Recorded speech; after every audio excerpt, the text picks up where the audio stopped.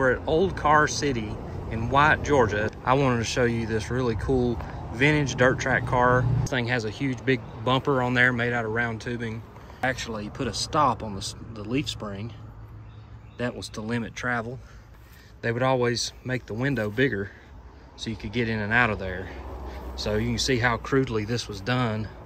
They just cut it and folded it over.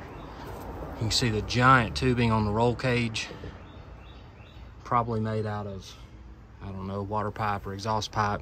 You can see it's been bashed in on this side. But you can see here what they did with the back bumper.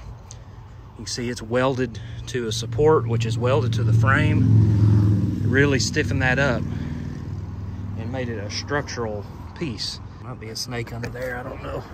Ragged, beat up, rusty, just barely anything left.